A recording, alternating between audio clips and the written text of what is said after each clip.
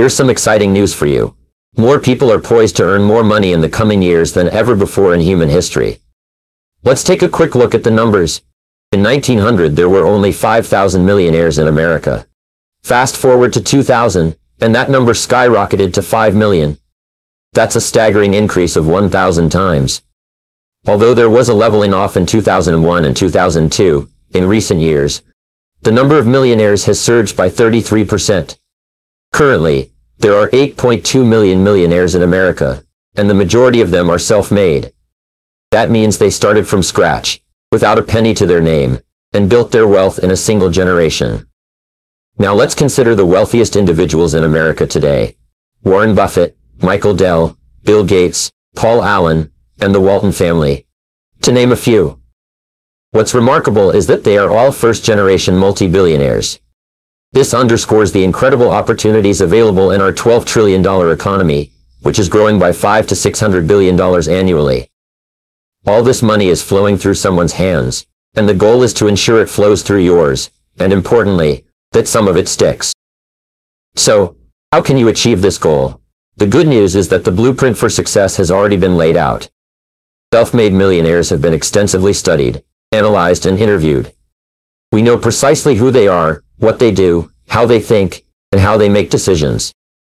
The key takeaway is this. If you emulate the actions of successful people, you'll eventually achieve the same results. Now some might argue that they started with nothing, and have nothing now. But here's the reality. Most people face financial challenges well into their 40s and 50s. The crucial question is whether you choose to remain in that situation. I certainly didn't have a head start. I came from humble beginnings, didn't finish high school, and could only land laboring jobs. But I refused to let my circumstances define my future. I embarked on a journey of discovery, asking successful people what set them apart. Through sales and various other ventures, I uncovered the law of cause and effect, the fundamental principle that governs success. It's all about understanding that everything happens for a reason, and success leaves clues. By following the footsteps of those who've achieved success, you can replicate their outcomes. However, success rarely comes overnight. It requires perseverance, resilience, and a willingness to learn from failure. Most importantly, it demands action. Too often people give up before even trying, relegating their dreams to a distant someday. But as I've learned, nothing works the first time. Success is about persistence and continual improvement. Years ago, I was asked to speak to 800 entrepreneurs on how to become a self-made millionaire. At first I felt unqualified, but then I realized that the journey to success isn't just about accumulating wealth. It's about becoming the best version of, ah, uh, yourself. It's about developing the qualities and mindset required to achieve your goals. In essence, becoming a self-made millionaire isn't merely about amassing wealth. It's about transforming into a different person. A person who embodies determination, resilience, and a relentless pursuit of excellence. So, as you embark on your journey to success, remember that the path may be challenging, but the rewards are boundless. My friends said, and one of them said, that in order to achieve something you've never achieved before, you have to become someone you've never been before. And it's a really important insight, the qualities you need to develop are qualities on the inside to become a self-made millionaire. They are incredible qualities that make you a vastly better person, not only better in terms of character, determination, and discipline, but they make you a far better person overall. They round out your character in a far better way. So, the real payoff of becoming wealthy is not because you can eat more or wear more clothes. It's because of the kind of person you become, and the kind of people you associate with and the kind of life you have. So, the things that we're going to talk about now, and I know that you're some of the smartest people in our country, so I'm going to give you these ideas very quickly, like dealing cards. What I found in my research is that there's a series of qualities that self-made millionaires have. If you have these qualities, your success is virtually guaranteed, and if you don't have these qualities, they are learnable. Point number one is that all business or sales skills are learnable. All financial skills are learnable. If you can drive a car, you can learn any skill. If you can drive a car, you can learn this skill. Now number two is you're probably only one skill away from doubling your income right now. You're probably only one skill away from setting yourself on the road to becoming a self-made millionaire. That turns out to be the case for almost everyone. And if you don't know what that skill is, maybe over the course of the time we spend together, it'll jump out at you. But whatever it is, you've got to find it out and go to work on it because it is learnable. It's a learnable skill. People say, well, I've never been very good with money. Well, get over it. The fact of the matter is, you can learn what you need to learn to achieve anything that you want to achieve. So, the success secrets of self-made millionaires, give yourself a score of 1 to 10, and if you are weak on one of these, it can be enough to hold you back. If you're strong on all of these, then there's no limit to what you can accomplish. The first is to dream big dreams. Dream big dreams. Practice what is called back from the future thinking and project forward. Develop a vision of yourself as happy, healthy, wealthy, and thin. Practice what top people practice, which is what is called idealization. You project forward several years and imagine that your life is perfect in every way. Imagine that you have no limitations. Imagine that you have all the time, all the money, all the friends, all the contacts, all the education, all the experience, and that you could be, have, or do anything you want in life. If you could, what would it be? If your life were perfect in five years, what would it look like? How much would you be earning? How much would you be worth? What kind of family life would you have? What kind of health would you have? What kind of car would you be driving? What would your life be like if you could wave a magic wand and make it perfect in every way? Now what we have found is this is the starting point of great riches and great success in life, is for you to have a dream or a vision of a wonderful future. Here's an exercise that we give people in our audiences. Take a sheet of paper and make up what is called a dream list. Now imagine this is kind of like a kid's Christmas list, and it just allows you to run wild and just write down everything that you could think of that you could possibly want. I had a friend who I taught this to, and he got so excited about it, he bought a spiral notebook, and he began writing. He'd go through the newspaper, and every single thing he saw in the newspaper that was nice, he wrote it down. At the end of the month, he had 500 things that he wanted. The interesting thing was that his life exploded. He activated the law of attraction, and he began to attract into his life people, circumstances, ideas, resources, insights, that began to move him toward the accomplishment of the goals, and began to move the goals toward him. Number two is to do what you love to do.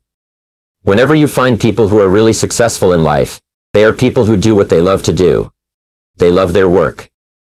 The great rule for success in life is to find something that you love to do, and then find a way to make a living doing it. Now, when you find what you love to do, it will be something that gives you energy, motivates you, enthuses you. It's probably something that you are meant to do from the time you were born.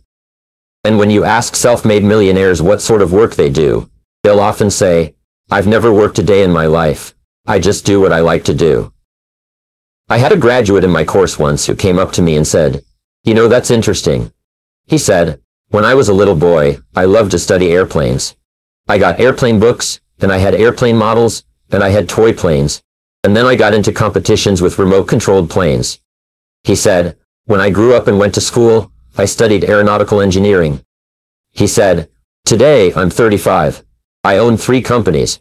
One builds small aircraft, another one repairs and services small aircraft, and another one is in leasing and chartering small aircraft. He said, I've never worked a day in my life. I just played with planes since the time I was a kid.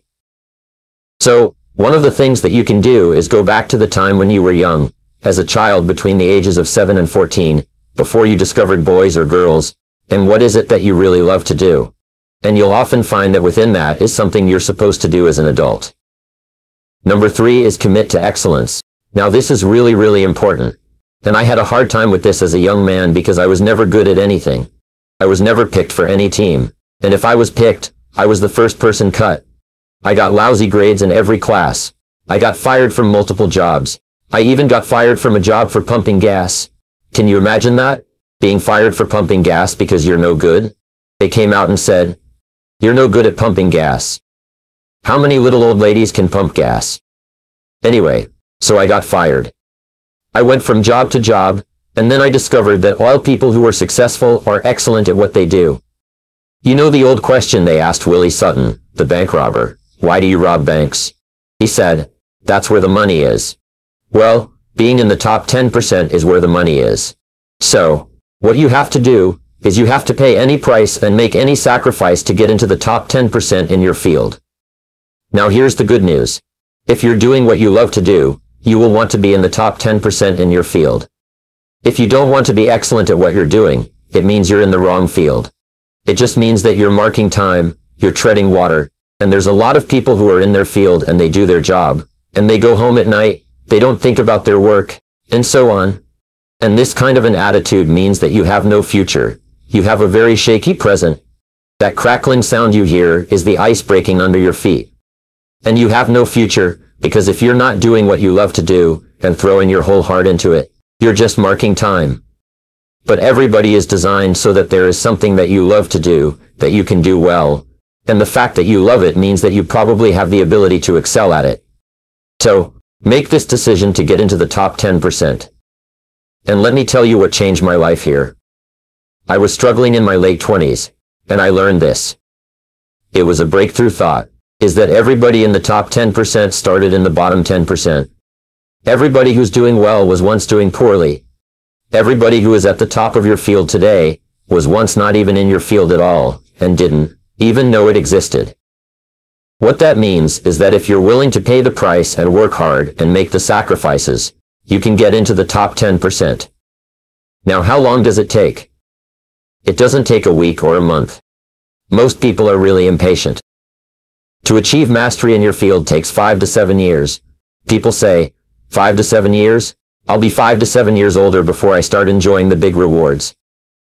Well, how much older will you be in five to seven years anyway? Now here's an important point. Are you ready? The time is going to pass anyway. The time is going to pass. Five to seven years from now, five to seven years will have passed. The only question is, are you going to be at the top of your field, or are you still going to be down there with the mediocre 80? And the wonderful thing is this. Nobody's better than you. And nobody's smarter than you. If anybody else is at the top of the field, it means that you can be at the top of your field. Just go to them and find out how they got there, because they started at the bottom. Now it may take longer for some people and less for others, but everybody who puts one foot in front of the other and keeps moving eventually gets there. And that's where all the rewards are. Not only that, that's where all the joy in life is. When you're really good at what you do, you feel wonderful about yourself. You're respected and esteemed by everybody around you. You can write your own tickets. You can open any door when you're good at what you do, because you get up in the morning and you know you're good. And that is more important than the rewards that go with it. The next key is to develop your unique talents and abilities. Every single person is designed from infancy with special talents and abilities that, if you develop them to their height, can enable you to accomplish anything you want in life. Everyone is genetically structured to be able to do something superbly, to do something they enjoy, to do it well, and to get great satisfaction from it. Peter Drucker often asks the question, what are you good at? What are you good at today? What should you be good at? What could you be good at? What will you be good at? And so one of the questions that we ask is, looking back in your life, what has been most responsible for your success up to now? What has been most responsible in the past? What is it that you have done that has gotten you the best results? Because as we said before, success leaves tracks. And if you look back into your past, you'll often find indicators that guide you to your future. Do you remember that fellow that won $300 million in the lottery? He was a high school physics teacher, and they asked him what he's going to do with it. He said he's going to take a week off and then get back to work, because he doesn't want to give up his job teaching high school physics because he loves his work so much. That is a person who's in the right place for him, and now he can just drive to it in a nicer car. Anyway, now the next key to becoming a self-made millionaire is to see yourself as self-employed. What we found is that the top 3% of adults in our society see themselves as self-employed. They see themselves as in charge of their own lives. When I started off my career as a young man, I was 21 years old working as a construction laborer, living in a one-bedroom apartment, broke, taking buses two hours every morning to get to work, and buses two hours to get back. I still remember that, and I still remember a light going off one evening. I was sitting there in my little apartment, in my little kitchen alcove, and I suddenly realized that I was responsible, that I was in charge of my own life, that no one was coming to the rescue. And it was one of the great turning points in my life. So what you find is that all exceptional people are highly responsible people. They look upon themselves as self-employed. Sometimes I'll ask an audience, I'll say, how many people here are self-employed? And some people will raise their hand, and some won't.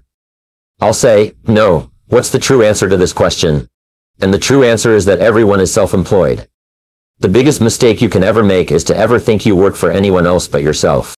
Even if someone else signs your paycheck for you all your life, the most valuable people in any organization are the people who treat the company as though it belongs to them.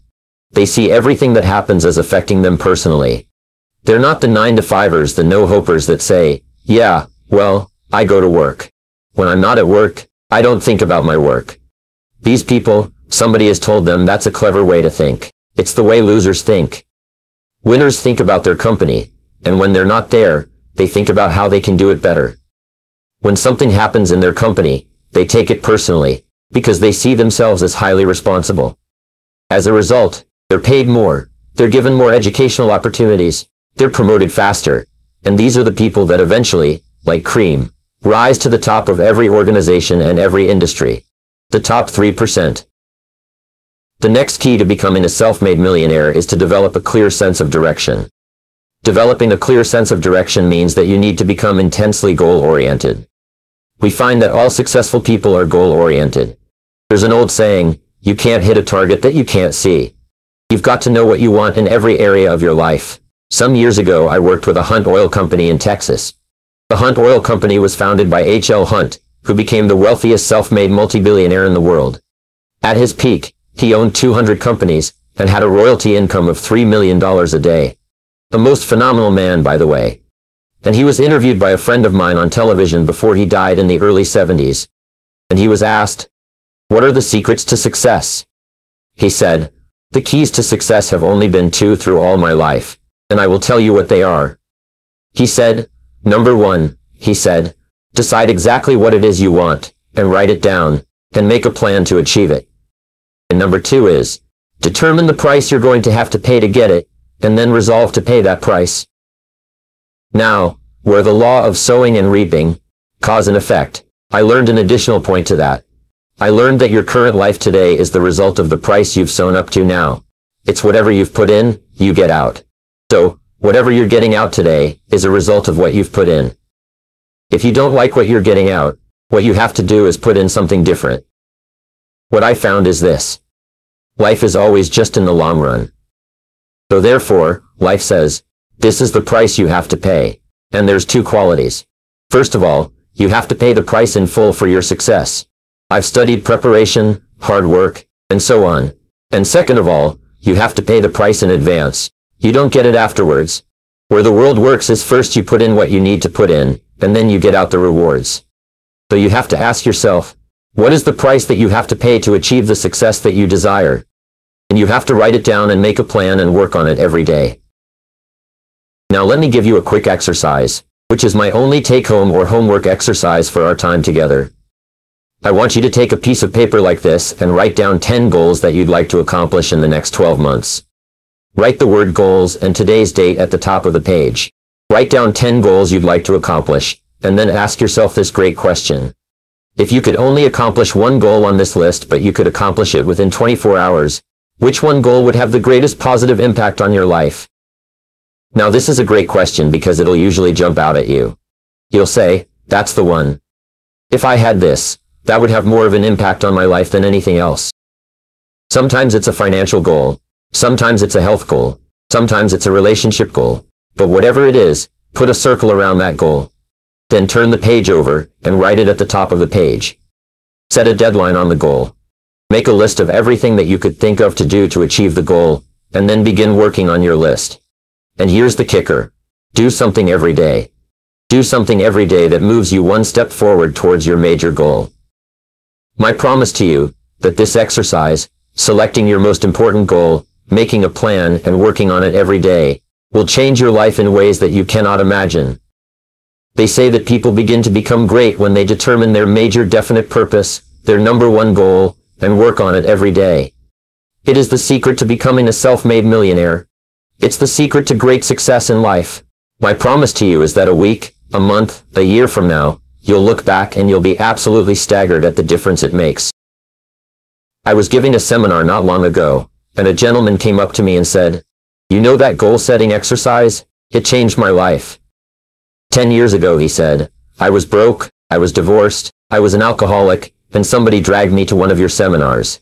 He said, I did that exercise and I picked my major goal. He said, it changed my life. I said, in what way? He said, today, he said, I'm worth $40 million. I said, wow. He said, yes, and I owe it to that lesson. Next is to refuse to consider the possibility of failure. It's the most amazing darn thing, is that the fear of failure is the greatest single obstacle to success in adult life. And it's not failure itself. Because each one of you is a professional failure. Each one of you has failed over and over and over again. Isn't that true? All of us fail. All human beings fail over and over. Nine out of ten things that we try don't work out the way we expect. We have failures in relationships, in jobs, in careers, in investments, and everything. It's not the failure that holds you back. The failure makes you smarter. We say that it is the fear of failure, not failure itself, that holds you back. And the way that you overcome failure is you never consider the possibility of failure. The rule is this. There's no such thing as failure, there's only feedback. When you try something and it doesn't work, you get feedback, not failure. And recognize that most things you try aren't going to work the first few times. So what you do is you say, oh, that's an interesting bit of feedback and you pick yourself up and you move forward, and you have more feedback and you move forward. To become a self-made millionaire, you're going to fail over and over again, year after year after year. But your brain has a cybernetic mechanism, which means that every time you try something, you get feedback which makes you smarter. And when you try something else, you get feedback which makes you smarter. And eventually, you reach the point where you're too smart and you stop making mistakes. You start to do more and more things right, and fewer and fewer things wrong. But you can't get there unless you have experienced the failures. Henry Ford once said that failure is merely an opportunity to more intelligently begin again. Now let me pass on one great rule to you, which has been discovered in interviewing self-made millionaires. See, millionaires look into every failure for something good. They say, there's got to be something good in this that I can benefit from. And surprise, surprise, they always find it. Self-made millionaires always seek the valuable lesson in every setback, obstacle, or temporary failure, and they always find the lesson. Now what do failures do? Failures whine and cry and think about what they've lost and blame their problems on someone else. Successful people say, what can I learn from this that will make me smarter next time? And my promise to you, those who seek, find, is that if you go looking for a valuable lesson in the biggest problem that you're facing today, you'll always find the lesson. Here's another possibility. Your biggest problem today could be the biggest gift that you have ever received, because it may contain within it the lesson that will make you successful. If you stop thinking about what happened and who's to blame, and you start looking for the gift within your problem, sometimes it can transform your life. The next key is to dedicate yourself to lifelong learning. Now what takes you from rags to riches is personal development, personal and professional development. In the 21st century, as Peter Drucker says, knowledge and skill are the keys to the 21st century. And the only thing that will be relevant the only skill that will be relevant in the 21st century is the ability to learn new skills, because virtually everything you know is becoming obsolete at a rapid rate. Stephen Covey says that your current knowledge base has a half-life of two years, which means that half of everything you know will be irrelevant within two years, and two years from now, half more. So, if you're not continually learning and upgrading your knowledge and skills, you're not staying in the same place. As Pat Riley says, the basketball coach, if you're not getting better, you're getting worse. If you're not constantly learning, you're actually falling behind. So, here are the three keys to continuous learning. Number one is read in your field 30 to 60 minutes each day. In other words, turn off the television, turn off the radio, put aside the newspaper, and just read in your field. The very best places to read, by the way, are books.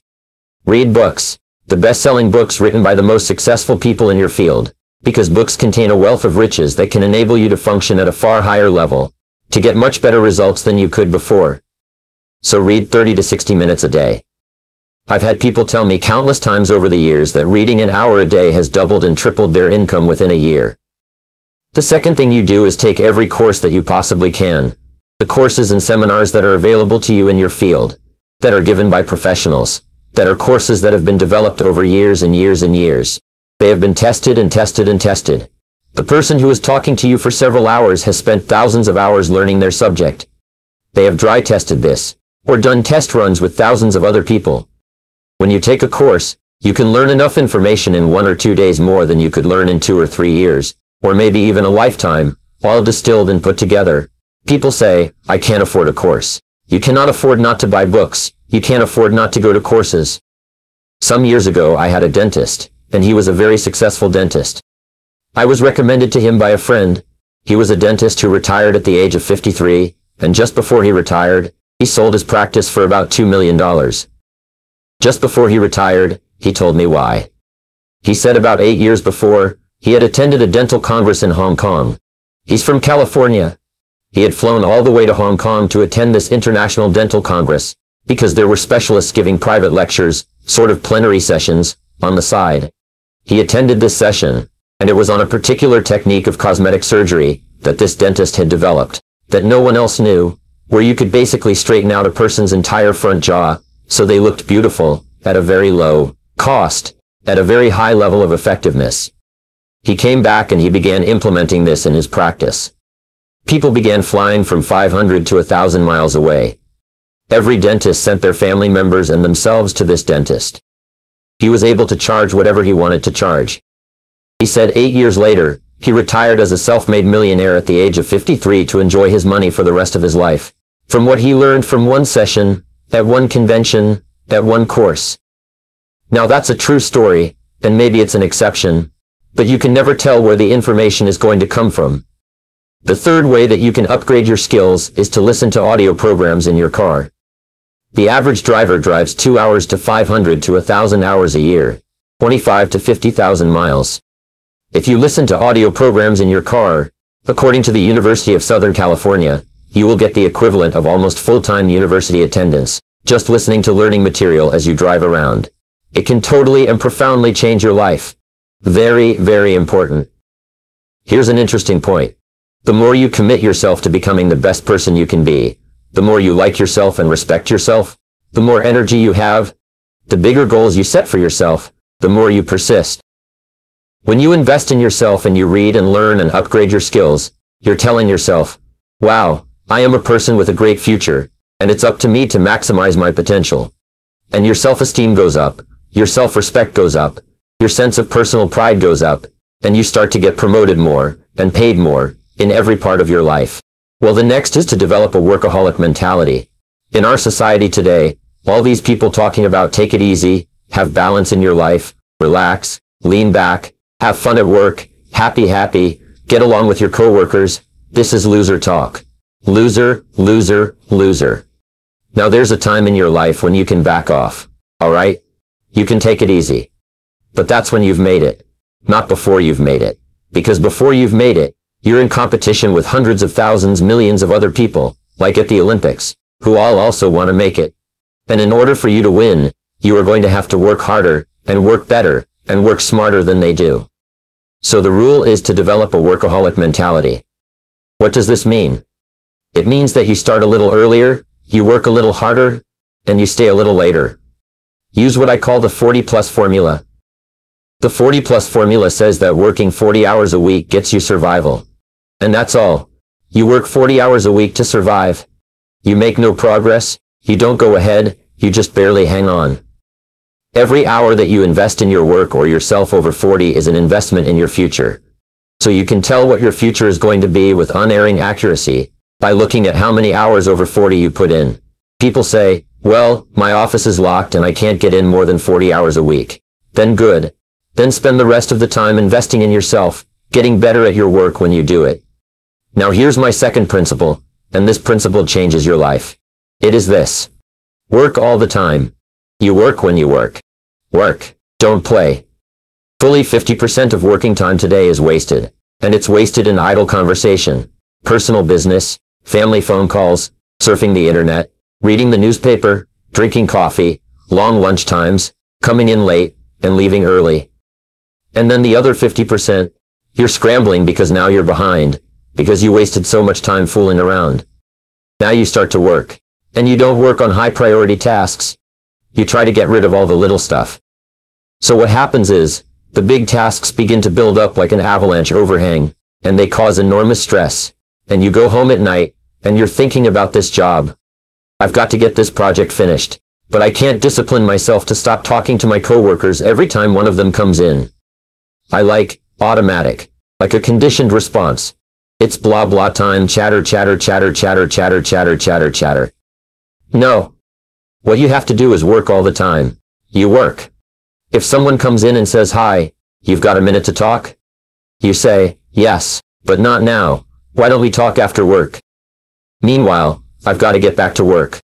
I'll tell you what, why don't you go down the hall and ruin his career? But don't stand here and ruin mine. It's really important. There's a great story. The little girl goes to her mother and says, Mommy, why is it that daddy always brings his briefcase home, and he works in the evenings, and he works on the weekends, and he doesn't spend any time with the family? And she says, Well, honey, you have to understand. Daddy can't get all his work done at work, so he has to bring it home. She said, Why don't they put him in a slower class? The next key is to get around the right people. This is a key for becoming a self-made millionaire. Get around the right people. Dr. David McClelland at Harvard did studies for 25 years looking into why it is that some people succeeded greatly in life. What he found was, as much as 99% of your success in life is going to be determined by what he called your reference group. Your reference group are the people with whom you habitually associate. They're the people that you associate with at work, the people you associate with at home, your church, your political party, your social circle. What he found in working with people is that changing a person's reference group totally transformed the way they think. Why? Because we are like chameleons, and we absorb through the skin the attitudes, the opinions, the behaviors, the style of dress, the style of speech of the people with whom we associate most of the time. If you start to associate with winners most of the time, you find that they have a totally different worldview. They're positive, they're upbeat, they're focused, they're learning, they're growing, they're positive about what they're doing, and you start to become like that. We know that our relationships determine 85% of our happiness or unhappiness in life. They will drag you down worse than a sea anchor if you work for a bad boss. It'll destroy all your joy in work. If you have one negative coworker, they found that one negative person in an office can cast a darkness over the whole office because of his or her negativity. So the most important thing you can do is choose your relationships with care, and only associate with people that you like, respect, and enjoy being around. Next, be prepared to climb from peak to peak. One of the keys to becoming a self-made millionaire is to realize that life is never one continuous train. It's always up and down. So, it goes up like when you climb a mountain peak, you have to go down into the valley before you climb the next peak. All of life is cycles and trends. There are up cycles and there are down cycles, there are uptrends, and there are downtrends. The question is, what is the general direction of your trend? We say that life is two steps forward and one step back. Successful people focus on the two steps forward, and then protect themselves on the downside. They build up cash reserves, they put in stop-loss orders in the stock market, they very carefully watch what they're doing, so they try to maintain that two steps up, and then make sure that the one step back is not so far. And then they want to make sure that this curve is generally upward, so that each time there's a step back, they're still further ahead than they were before. The next one is to develop resilience and bounce back. Developing resilience and bouncing back is one of the key qualities of self-made millionaires. Because as I said right at the beginning, most things won't work. This is a very interesting point, is that you're going to be knocked down over and over again. What we know is, my friend Charlie Jones says, is you have to bounce, don't break. And when things go wrong, bounce. So, what I learned many years ago was this interesting technique of what is called mental rehearsal. Mental rehearsal says that you mentally prepare for the inevitable downturns before they occur. So you say, alright, in the course of life, things are going to go wrong. But when they do, I'm not going to become upset. I'm not going to get mad or angry or anything else. I am just going to take it, learn from it, and pick myself up, and keep going.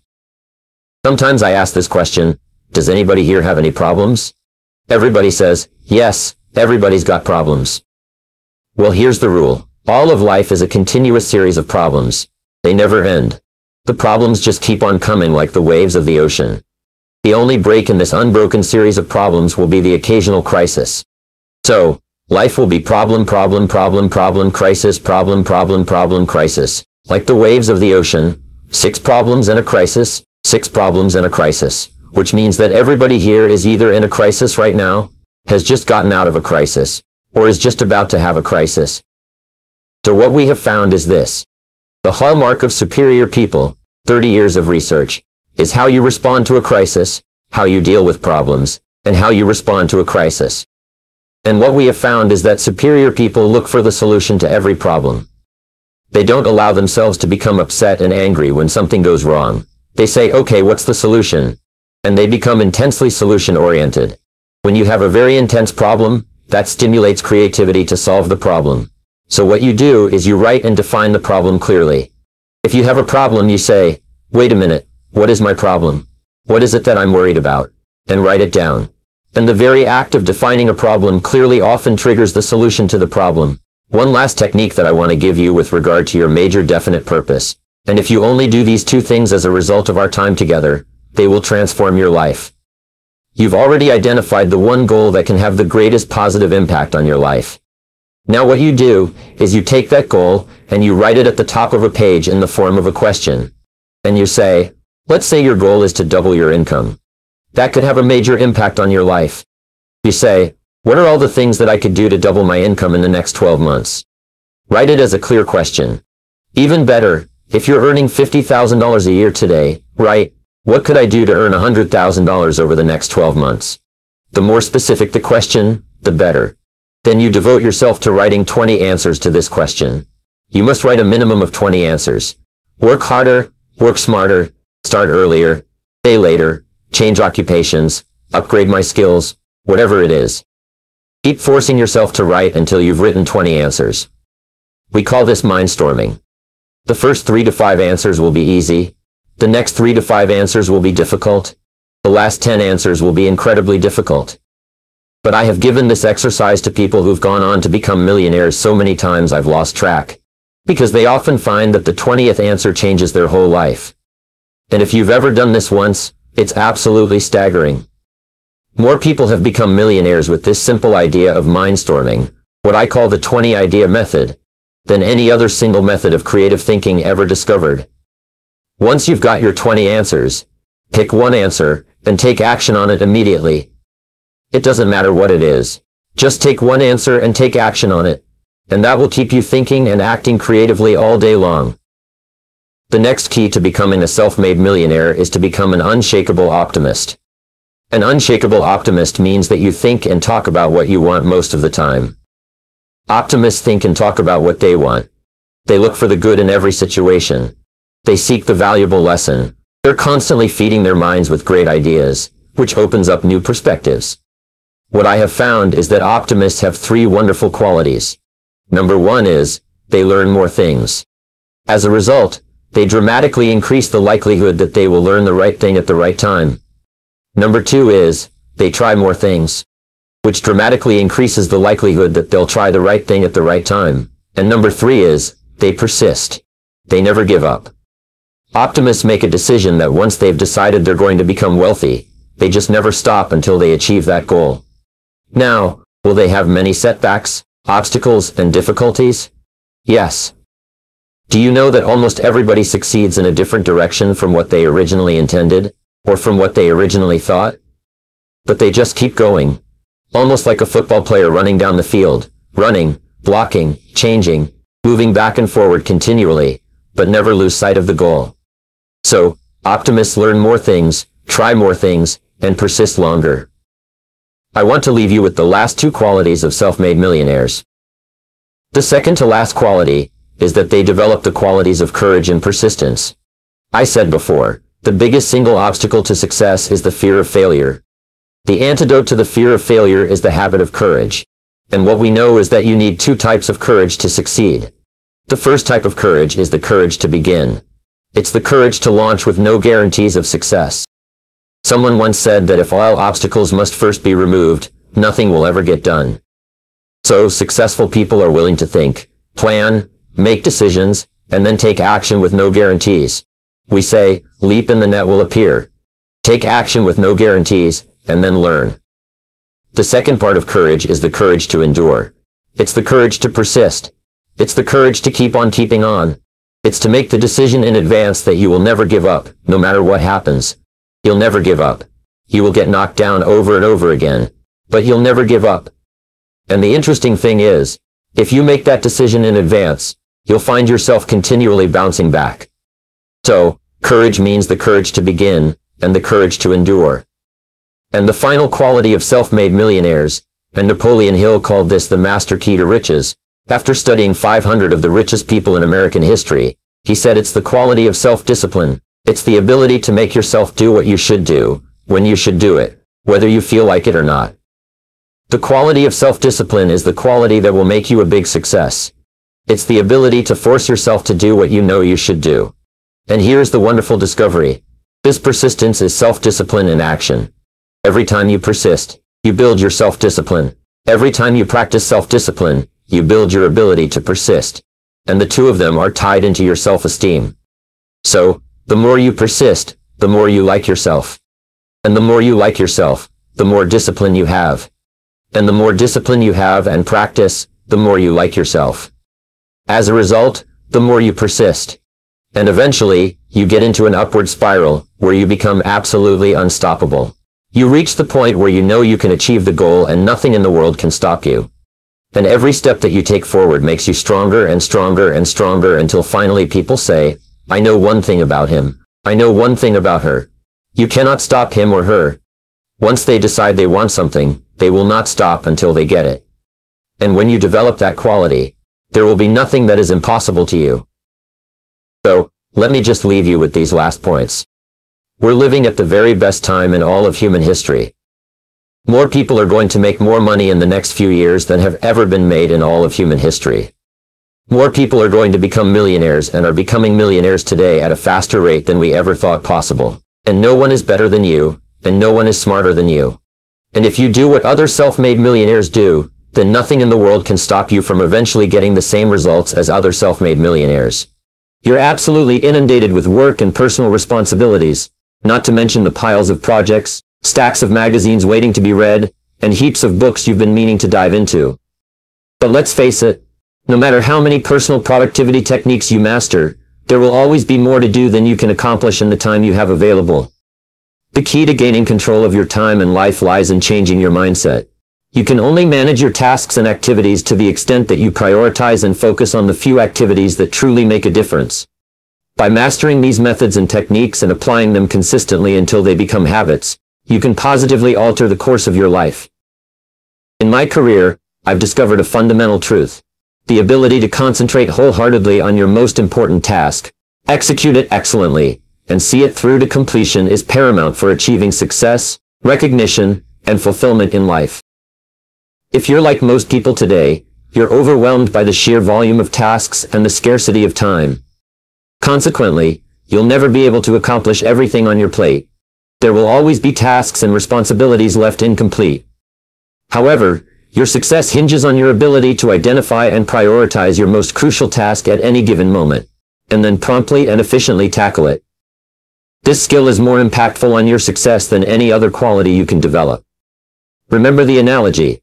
If you start your day by eating a live frog, i.e. tackling your biggest most important task first, you'll have the satisfaction of knowing that the worst part of your day is behind you. If you have multiple important tasks, start with the most challenging one. Continually remind yourself that the most critical decision you make each day is what you choose to do immediately and what can wait. High performance and productivity stem from developing the habit of addressing your major task first thing every morning. Successful individuals are those who dive headfirst into their significant tasks, and then commit to working steadily and with singular focus until those tasks are completed. In today's world, you're compensated for making valuable contributions and fulfilling expectations. Failure to execute is a pervasive issue in organizations, where endless meetings and elaborate plans often fail to translate into tangible results. Your success in life and work largely hinges on the habits you cultivate over time, such as setting priorities, overcoming procrastination, and tackling your most important task first. These habits are learned through practice and repetition, until they become ingrained in your subconscious and shape your behavior. Completing tasks, regardless of size or importance, gives you a sense of accomplishment and fulfillment. Developing the habit of initiating and finishing important tasks is essential for leading a fulfilling life and having a successful career. Practice is key to mastering any new skill, including focus and concentration. You need three qualities to develop these habits. A decision to prioritize task completion, discipline to practice these principles until mastered, and determination to make these habits permanent. You can expedite your progress toward productivity by envisioning yourself as someone who consistently completes important tasks promptly and effectively. Visualize yourself as the person you aspire to be, and through repetition and practice, you'll overcome procrastination and swiftly accomplish your most critical tasks, propelling yourself forward in your life and career. Clarity is crucial in personal productivity. The clearer you are about your goals and the steps needed to achieve them, the easier it is to overcome procrastination and focus on completing tasks. Establishing clear, written goals is vital. They serve as a roadmap to guide your actions and keep you motivated. Only about 3% of adults have clear written goals, yet these individuals achieve significantly more than those without such goals. Setting and achieving goals involve a seven-step process. Decide what you want, write it down, set a deadline, make a list of action steps, organize the list into a plan, take immediate action, and commit to daily progress toward your goals. To put this idea into action, start by listing 10 goals you want to accomplish in the next year. Write them in the present tense, positively, and in the first person to reinforce them in your subconscious. Then, identify the goal that would have the most significant positive impact on your life if achieved. This exercise alone can transform your life, providing you with a clear sense of purpose, direction, and motivation. Finally, have faith in your ability to achieve your goals. Faith, coupled with personal initiative and action, is essential for success. Maintain a positive mental attitude, surround yourself with supportive individuals, and view adversity as an opportunity for growth. Affirm your goals daily, and let your subconscious mind attract the resources needed to achieve them. In summary, by mastering the habits of focus, concentration, and task completion, setting clear goals, and having faith in your ability to achieve them, you can unleash your full potential and lead a fulfilling and successful life. What kind of house do you want to live in? What kind of car do you want to drive? What kind of wardrobe do you want? What kind of presents are you going to buy your wife for her birthday? I know it's the little things in your life that make the difference between happiness and unhappiness. When you affirm the object of your desires through prayer, let your imagination see yourself already in possession of the thing that you're aiming for. That's the best salesmanship in the world. When you grow up to sell a person an idea or merchandise or a service, if you know positively that you're going to give him his money's worth and more, it does something to you. It does something to him. It enables him to do that in return. Do something for you. If you want your prayers to be effective, don't wait until the time of need to utter them. Build up the habit of prayer when you don't need anything. Wouldn't it be an interesting thing if I gave you a little assignment right now to write down, before you go to bed tonight. Everything that you have in this world to be thankful for. You may have a lot of things you don't want, but you also have a lot of things you do want. Write them down on this list and express gratitude that you have these things that you like. Then start by expressing gratitude every night and every day. Keep your mind open for guidance from within. Yes, hunches. You'll get hunches. Treat them with civility. Examine them, and you may find that some of these very unusual hunches that you come, are bringing you messages that you need to get you over the hump in whatever it is that you're doing. And when you are inspired by hunches to move on some plan created by your imagination, accept the plan and act upon it. Always remember that there can be no such state of mind as faith without appropriate action. And when overtaken by defeat, as you may be many times, remember that man's faith is tested many times, and your defeat may be only one of your testing times. We all go through that testing time, and the ones that survive these tests can come out on top with an abiding faith. They are the ones that become truly great in life. Any negative state of mind will destroy the power of faith and result in a negative climax. Your state of mind is everything. That's the only thing you have control over. Your education, your background, your nationality, your creed has nothing whatsoever to do with your ability to achieve. It's the state of mind that you maintain. For me, that's the most profound thing in all of the knowledge of mankind. The most profound of all of it is the fact that the lowliest person can take possession of his own mind. Just the change of his mental attitude changes from success to failure almost instantly. A burning desire is the sort of material of which faith is created. There are a lot of desires in the world, but they're not burning desires, and they're not obsessional as ours. Most people in their whole life never express or never experience an obsessional desire for anything. We wish for everybody to have a lot of money without having to work for it. We wish for things. We wish for the Cadillac when we're driving a Ford. And if you want a Cadillac car and you make up your mind to have it, get out and see the men under you or the job that you're holding, and see that you put into it all that is required to get the Cadillac car. You have to weld them with a burning desire, and then you have to take action. You've got to start right where you stand with action.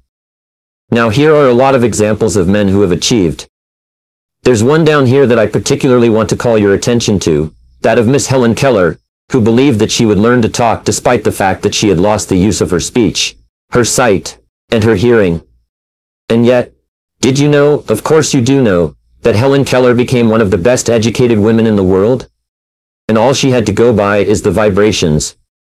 I think with a woman with a handicap of that kind, all the way through life, getting joy out of life, rendering useful service, making speeches.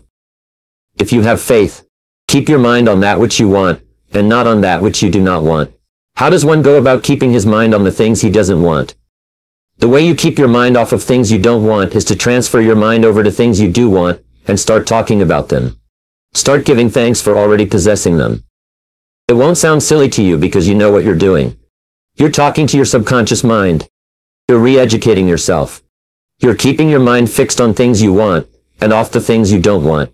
And if you ever feel blue or discouraged or lacking in courage, I'll tell you a good remedy for them. May I suggest you take a tablet and start my rings? Number one, the thing that you want most in life. Number two, the thing that you want next month. Number three, the thing you want next moment.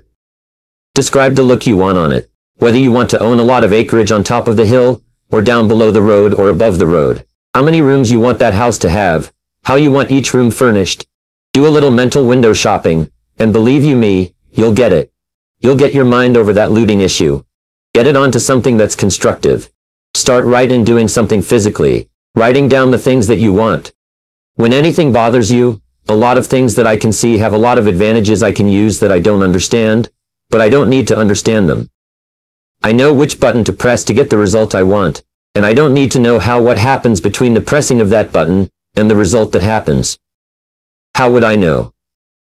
Do you suppose that any person can actually make life pay off point by point, on his own terms, instead of accepting the circumstances? There is only one way in this world that I could possibly know that, and that's by my own experiences. Or can't get easily, that if you go back just a few years ago, what an astounding statement it is, because it's so broadly in contrast to what I might have said a few years back, before I'd learned the secret of getting everything that I want. You must have a definite objective, a purpose, a goal, before you can have faith in anything. Faith is a middle attitude wherein the mind is cleared of all fears and doubts, and directed toward the attainment of something definite through the inspiration of infinite intelligence. Faith's not going to go out and get you that Cadillac or that mink coat or that new house that you want, or that better job or that better business with all those clients that you need if you're a professional. But faith will guide you as to how you can do it and then you find that there is always a part that you misplace. And if infinite intelligence has very wisely provided a system whereby you can be sure of getting your food out of the soil of the earth, how? By complying with the laws of nature. You go out there and you plant the seed. You plant it in soil that you have examined to make sure it has the elements in there that you want into the plant. You plant it at the right season. You plant it at the right depth in the ground. All of those things you do by way of going the extra mile. You do them in advance, and you comply with nature's law. So that's what you do. You do your part. Faith will do nothing for you if you expect everything to be done for you outside of yourself. When faith, I'll put a little parenthesis or probably my little notey, that word probably down there. Why do you think I say faith probably works through the subconscious section of the mind? I'll tell you why I put it there. Because nobody knows definitively whether it does or not. It appears to work through the subconscious section of the mind, the subconscious acting as the gateway between the conscious section of the mind and infinite intelligence.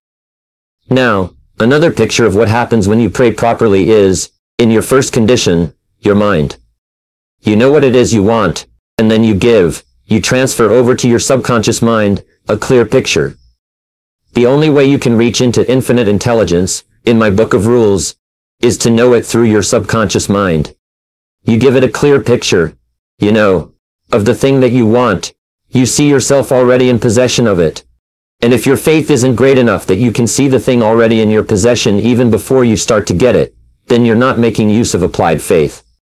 Associate as many as possible of the nine basic motives with the object of your definite major purpose. You've had this experience that you wanted something very badly, and in order to get something that you want very badly, it meant extra money that you couldn't lay your hands on. You didn't have it in the bank, you weren't earning it. Write out a list of all the advantages of your definite major purpose, and call these into your mind many times daily. And it's the same thing with reference success. If you accept any kind of a fear complex or an inferiority complex, if you don't expect success of yourself and develop a success expectation or consciousness, you're not going to be a success. You just have to do that. If your major purpose is to achieve some material thing or money, see yourself already in possession of it. And if your faith isn't great enough that you can see the thing already in your possession, even before you start to get it, then you're not making use of applied faith. Associate with people who are in sympathy with you and your major purpose, and lead them to encourage you in every way possible.